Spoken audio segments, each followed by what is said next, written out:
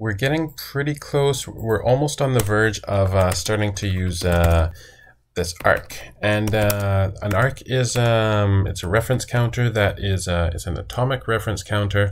It's safe to share between threads. And this is for a situation where we imagine we want to, uh, you know, declare something here. My number equals 10. And then we would like to um, somehow you know, safely put it into uh, all these threads and have each thread do something to the number and then, uh, you know, stop them here, make, make sure that the, the program is, uh, is not finishing before the threads are done. And then down here, we're going to say like, uh, you know, now the number is, and then we want to print my number. So how, uh, you know, how are we going to do that? Because right now uh, it's just, uh, just 10. And, um, you know, up to now, we've used um, reference counters and uh, things like uh, cells and ref cells, and uh, let's just see what happens when we uh, when we try that. So uh, let's see, cell dot ref cell. There we go, and there we go. RC. So you remember if we want to uh, modify number and send it to multiple have like multiple owners. Well, first we wrap this inside a ref cell a ref cell dot new like that. And then, uh, so now it can be changed. And now we want to uh, have multiple owners. So we have an RC new. And then let, us say for, uh, then we have this handle back here that we did last time. And then for i in 0 to 10, actually, we don't need to uh, print i anymore. But uh, so here we would, uh, what we would do is clone. And we would clone my number uh, my number. Uh, let uh, let's we'll call it number to go in because this is the number that will go in, and then uh, you would say like uh, number to go in dot borrow_mut like that. Get to the the value inside of it plus equals 10, and uh, Rust is going to say hold on, that's not safe. Um, and let's see, let's just not try to display that for now. Let's try that again. So attempted to take value of method borrow_mut. Oh, that's right. By the way, that's uh, if you forget to uh, to call a method, it's going to say, hey, you you know, what are you doing? Because borrow_mut, that would be a field instead of a method. So if you see that uh, attempted to take value, it means you forgot to uh, forgot the brackets. So there you go. This is the error we wanted to see. So RC ref cell cannot be sent between threads safely. And uh, right here is the uh, the thing that it considers most important. Uh, so the trait send is not implemented for RC ref cell. And if you look into the uh, the documentation, right, here, let's go to RC. And if you go to the traits, not only are they not implemented, but they implement this trait saying, hey, it's not safe for send, and hey, it's not safe for sync.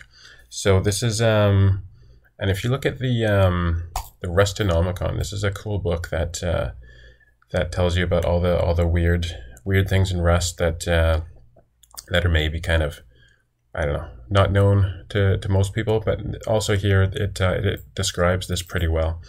Uh, nice and simple. So uh, a type is send if it is safe to send it to another thread, and a type is sync if it is safe to share between threads. And you need both of these to uh, to be safe to uh, to modify between threads. And actually, if you look at uh, at RefCell, it is it has send, but it doesn't have sync and uh, we need both. And uh, so what we need is uh, an atomic reference counter instead. And this is a, um, you know, this is thread safe. And uh, so the way it does it is, um, I guess, is it uses the uh, the processor itself, and I think it's the registers in the processor. It uh, it makes sure that um, that uh, operations are hand, handled or are happening in the order that they should. Like there's no um, two two things accessing a single register at the same time. I don't know if that's uh, how it works, but it uh, I know it has to do with the uh, with the uh, processor itself. So, uh, but the nightmare scenario that uh, that is trying to avoid that. So this is why an arc exists in the first place. Is let's say you have um, you know my number and it's uh, it's 10 and you imagine we have uh, you know thread one thread one and we're going to do uh, I'm just going to call it n actually. N uh, n plus n plus 1 10 times. And then uh, thread 2 and we're also going to do n plus 1 10 times. And the nightmare scenario in uh, in languages sometimes is um, is that uh, actually let's start it from zero is that you um, you know these uh, these threads are working at the same time and one of them or both of them access the same data. They take a look at it then they make a change based on that and then they return that. So you can imagine like the first time they go around you know n starts at zero um, thread one picks it up says this is a zero i'm going to add one to it puts it back now it's a one. Thread two looks at this says hey this is a one i'm going to add one to it puts a 2 back, so that's fine. But then the next round, uh, you know, thread 1 comes and picks it up and says, hey, this is a 2. And then before it can do anything to it, thread 2 jumps in, grabs the 2, says, hey, that's a 2. And so red, thread 1 will say, okay, what is, uh, what is 2 plus 1? Well, that's a 3. And then thread 2 says, okay, what's 2 plus 1? That's a 3. And it puts back a 3 when it should be a 4.